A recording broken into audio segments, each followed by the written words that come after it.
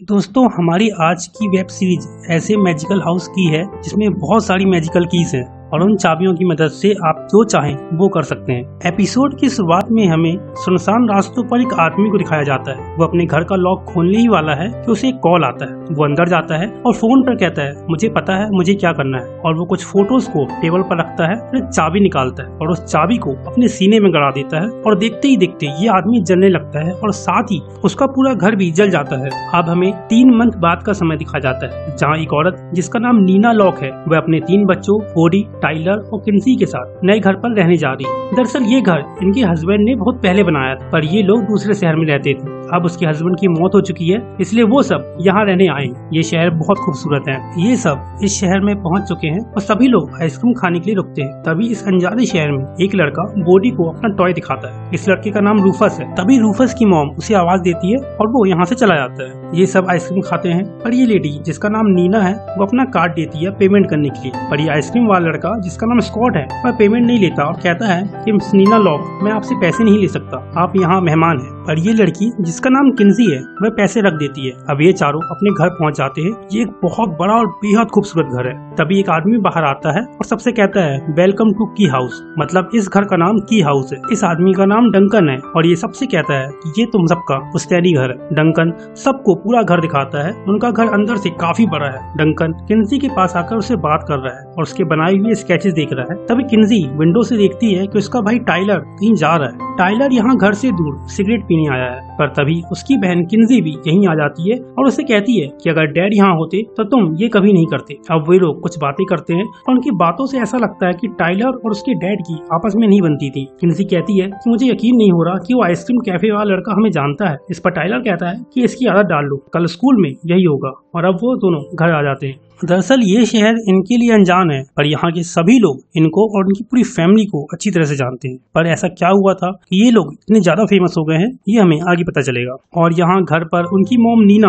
सामान जमा रही होती है, तभी उसे अपने हस्बैंड की याद आती है। उसे याद आता है की जब वो अपने पुराने घर पे थी, तभी वहाँ टाइलर का फ्रेंड सैम आता है। नीना कहती है की टाइलर हॉकी खेलने गया है, पर सैम कहता है, मुझे मिस्टर लॉक से मिलना है। असल में टाइलर के फादर एक टीचर है, जहाँ सैम और टाइलर पढ़ते हैं। मिस्टर लॉक कहते हैं, हम मंडे को बात करेंगे सैम पर सैम उन पर पिस्तौल तान देता है और कहता है, मुझे वह सब कुछ बताओ जो मुझे जानना है। मिस्टर लॉक उसे अपनी गन नीचे रखने को कहते हैं और सैम नीना के पैरों में गोली मार देता है मिस्टर लॉक से कहता है कि मुझे की हाउस के बारे में सब कुछ जानना है। तभी टाइलर आ जाता है पर दरवाज़ा अंदर से बंद है। मिस्टर लॉक सैम से गन छीनने जाते हैं पर सैम गन चला देता है और मिस्टर लॉक गोली लग जाती है और सैम यहाँ से भाग जाता है। कहानी फिर प्रेजेंट में आती है। यहाँ बॉडी घर के बाहर घूम रहा है। तभी उसे वहाँ एक कुआँ दिखाई देता है और उस गेट पर ताला लगा हुआ है। बॉडी छोटा है, इसलिए वह गेट के पार चला जाता है और कुएँ की फ़ोटो खींचता है। पर फ़ोटो कुएँ में ही गिर जाती है। बॉडी जाने लगता है, तभी उसे कुएँ से कुछ आवाज़ आती है। वह वापस पीछे मुड़ता है और देखता है कि फ़ोटो वहीं पर रखी है। यह बॉडी अंदर देखता है, तभी कुएँ के अंदर से कोई उसका नाम पुकारता है। बॉडी डर जाता है और यहाँ से भाग जाता है। वहाँ घर के अंदर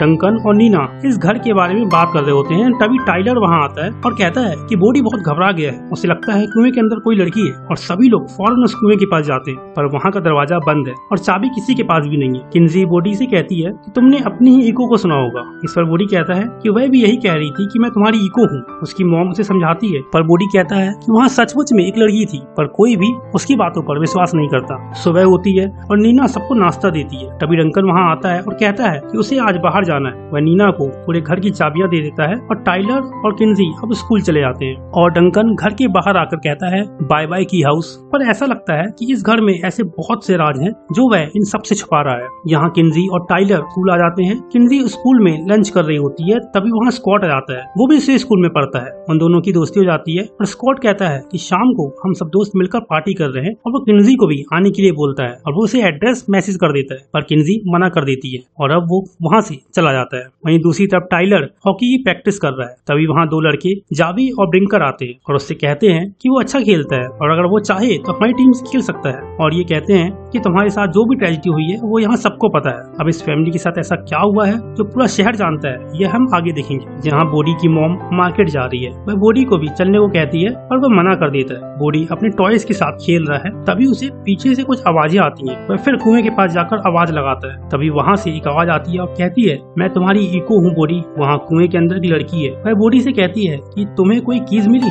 बोडी कहता है, कौन सी कीज वो लड़की कहती है, तुम्हारा घर कीज से भरा पड़ा है। वहाँ एक ऐसी की है जिससे आत्मा शरीर से अलग हो जाती है। दूसरी की से तुम रूप बदल सकते हो और तीसरी की तुम्हें दुनिया में कहीं भी ले जा सकती है। वह सोने से बनी हुई है। बोडी पूछता है, मुझे वो की कहाँ मिलेंगी? इस पर वह लड़की कहती है कि वो की आपस में बातें करती हैं और तुम्हें ध्यान से सुनना होगा। वो की फुसफुसाती हैं और कुछ खास लोगों को ही उनकी आवाज़ सुनाई देती है। तभी बोडी की बहन किन्जी उसे आवाज़ लगाती है और वो चला जाता है। वो स्कूल से आ चुकी है और बोडी से अंदर रहने को ही कहती है। यहाँ बोडी को किन्जी के ब्रेसलेट से कुछ फुसफुसाने की आवाज़ आती है, जैसा कि उस लेडी ने बताया। और जब वो उस ब्रेसलेट को खोलता है तो उसमें से सच में एक की निकलती है। बोडी उस की से कहता है, मुझे आइसक्रीम खानी है। और वहाँ कुछ भी नहीं होता। बोडी को लगता है कि ये बोलने से ही हर विश पूरी कर देगी। अब वो उस की को दरवाजे पे लगाता है और जैसे ही वो दरवाज़ा खोलता है, वह उसी आइसक्रीम शॉप में पहुँच जाता है, जो स्कॉट का है। स्कॉट पूछता है, तुम तो किन्जी के भाई हो। क्या किन्जी भी यहाँ आई है? और बोडी को कुछ भी समझ में नहीं आता की कैसे हो गया। बोडी को कुछ भी यकीन नहीं हो रहा है। वह वहाँ आइसक्रीम खाता है और जैसे ही दरवाज़ा खोलता है, वह वापस अपने घर आ जाता है। वह किन्जी को बताता है की मुझे तुम्हारे ब्रेसलेट से यह की मिली है। किन्जी गुस्सा होती है कि तुमने मेरा ब्रेसलेट तोड़ दिया,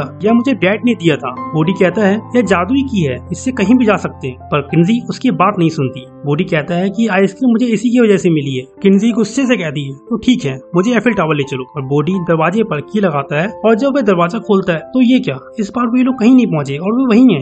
किन्जी को लगता है कि वो झूठ बोल रहा है और उसे परेशान कर रहा है, इसलिए वो उसे रूम से बाहर निकाल देती है। अब किन्जी और उसकी मॉम, मिस्टर लॉक की फ़ोटो देख रहे हैं। तभी किन्जी पूछती है कि हम यहाँ क्यों आए हैं? क्योंकि डैड कभी नहीं चाहते थे कि हम इस घर पर आए। और यहाँ बॉडी को फिर कीज के फुसफुसाने की आवाज़ आती है। वह सिंक में हाथ डालता है, जहाँ उसे एक और की मिलती है। वह दौड़ कर कुएँ के पास जाता है। वो लड़की पूछती है कि क्या तुम्हें कोई की मिली? बॉडी कहता है, मुझे सिर्फ़ एनी की मिली है, पर वो सिर्फ़ मेरे लिए चली। किन्जी के लिए नहीं वो की हमें एफिल टावर लेकर नहीं गई। इस पर वो वाली लड़की पूछती है कि बोडी क्या तुमने कभी एफिल टावर का दरवाज़ा देखा है? बोडी कहता है, नहीं, मैंने कभी नहीं देखा। इस पर लड़की कहती है कि, की, वही दरवाज़ा खोलती है जिसे तुमने पहले कभी देखा हो। मैं कभी एफिल टावर का दरवाज़ा नहीं देखा, इसलिए वो की वहाँ का दरवाज़ा नहीं खोल पाई। वो लड़की कहती है बोडी मैं अब तुम्हारी दोस्त बन गई हूँ। अब बोडी उसे उस दूसरी की के बारे में भी बता देता है। वो कहता है कि उस की में आईना लगा हुआ है और पूछता है की ये की क्या काम करती है? वो लड़की बताती है की ये की तुम्हें मरे हुए लोगों के पास ली जा सकती है और उनसे मिलवा सकती है। यहाँ टाइलर अपने दोस्तों के साथ पार्टी में आया है और किन्जी भी स्कॉट के यहाँ आई हुई है। स्कॉट यहाँ उसे अपने फ्रेंड से मिलवाता है। यहाँ ये लोग एक प्ले देख रहे हैं। तभी किन्जी को कुछ पुरानी यादें आने लगती है और वो वहाँ से उठकर चली आती है। वो अकेले रास्ते में आ रही है, तभी रास्ते में उसे उसका भाई टाइलर मिल जाता है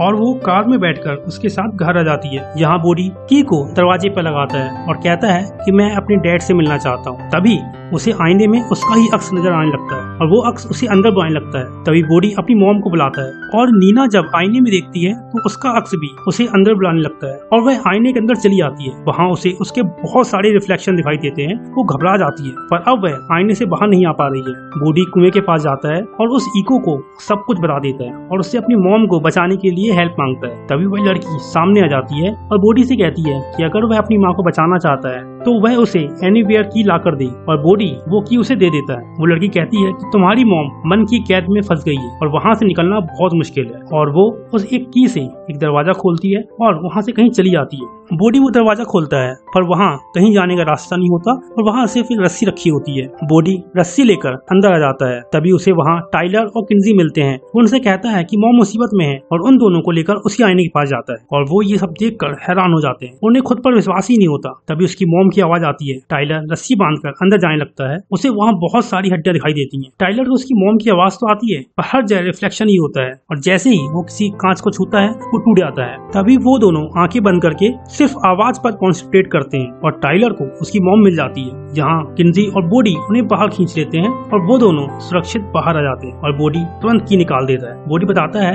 कि यह घर जादुई की से भरा हुआ है, पर तभी नीना एकदम नॉर्मल हो जाती है, जैसे कुछ हुआ ही ना हो। उसे कुछ भी याद नहीं होता कि अभी क्या हुआ है? वो तीनों अपनी मोम से कहते हैं कि आप आईने के अंदर चली गई थी और उसमें फंस गई थी। पर नीना को लगता है कि वो मज़ाक कर रहे हैं। वो बच्चों से कहती है कि अगर तुम्हें भी ऐसा आईना चाहिए तो कल मैं मार्केट से लाके तुम्हें दे दूँगी। यहाँ हमें स्कैम लेजर को दिखाया जाता है, जिसने टाइलर के डैड को गोली मारी थी। वो जेल में है, तभी उससे मिलने कोई आता है। और जब उसे बाहर लाया जाता है तो यहाँ वही कुएँ वाली लड़की होती है। वो सैम को हाई कहती है और ये एपिसोड यहीं पर खत्म हो जाता है। तो दोस्तों, क्या है ये की हाउस और ऐसी कौन कौन सी कीज यहाँ छुपी हुई है? जानने के लिए हमसे जुड़े रहिए। मिलते हैं नेक्स्ट एपिसोड में।